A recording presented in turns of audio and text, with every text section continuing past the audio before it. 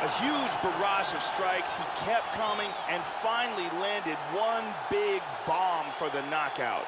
Yeah, that was just a gorgeous shot to end the fight right there, Joe. Landed flush, and I'm not even sure the opponent really saw it coming. So back to the drawing board for him, but for the winner, this is certainly exactly what he was looking for here tonight.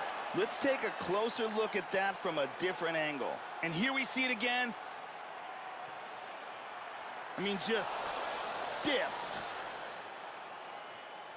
So what a knockout from the UFC lightweight champion here tonight. Under the bright lights, he